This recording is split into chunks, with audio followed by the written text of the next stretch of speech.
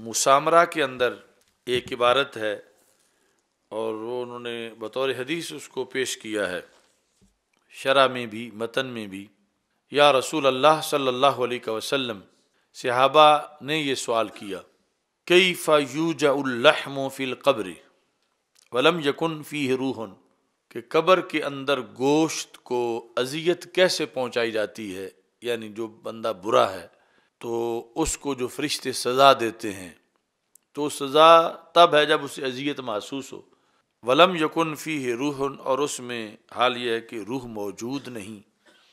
फ़काला, कमा यू जाओ सिन्नों का व इलम यकुन फ़ी है रूह। हो तो रसूल अकरम सल्लल्लाहु ने फरमाया, जिस तरह तुम्हारे दांत को दर्द पहुँचाया जाता है, अगरचे उसमें रूह नहीं होती। लेकिन उसका तमस्क है, इत्तिसाल है गोश्त के साथ कि जिसमें रूह मौजूद है। तो अगरचे दांत में खुद तो रूह नहीं होती, लेकिन जिससे मुनसलिक है उसमें रूह होती है। तो इस बुनियाद पर जो है वो दांत को दर्द महसूस होता है। तो वम यकुन फ़ी रूह, काला अखबर अन सिन्ना यू जाओ लेनहू मुतसरम बिल्लाह में वम यकुन फ़ी रूह।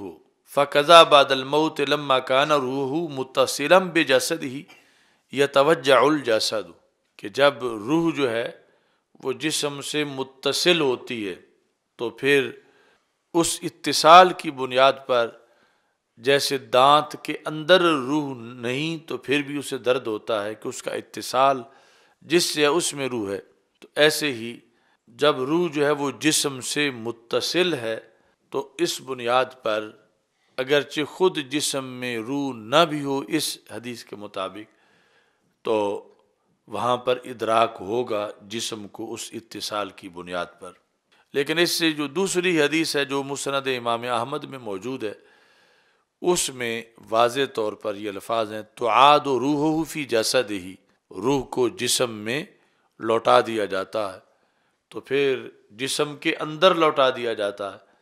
जिसम में जब रूह है तो फिर उसके लिहाज से आगे जिसम के तकाजे हमारी अकल जो सोच रही है दुनिया वाले, उन्हें छोड़कर हमें उस पर ईमान बिल गैब की बुनियाद पे रहना पड़ेगा कि जिस अंदाज में भी खा वो बदन सलामत हो या बदन जो है वो उसके आज मट्टी में मिल चुके हों, जो सूरत हाल भी हो वो रूह का उसके साथ, उस बदन में उसको लौटाया जाता है और फिर लौटाने के बाद जो है, वो निकाली नहीं जाती। यानी दुनिया में तो निकाली जाती और मौत वाक़ होती है और बदन में जिस वक़्त वो रूह लौटाई जाती है तो फिर क़्यामत तक उसे, उससे निकाला नहीं जाएगा और उसके साथ उसका मिन वजह ताल्लुक़ बरकरार रहेगा। अब यहाँ पर मज़ीद जो मसरूफियात हैं रूह की, उससे पहले, यानी ये भी